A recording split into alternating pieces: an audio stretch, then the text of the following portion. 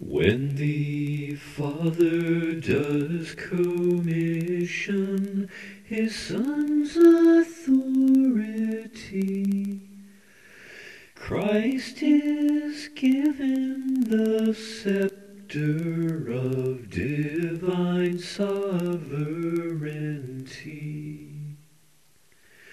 The is this scepter, divine control of thee?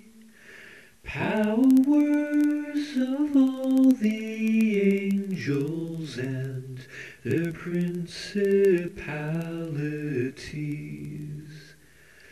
God's absolute control of angelic authority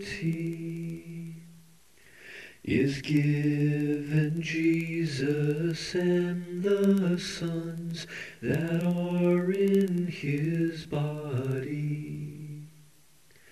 The iron rod to rule over all of his creation entrusted to this one new man, God's only begotten. So then, rule over the heavens is given unto him, and his body with are set to judge all them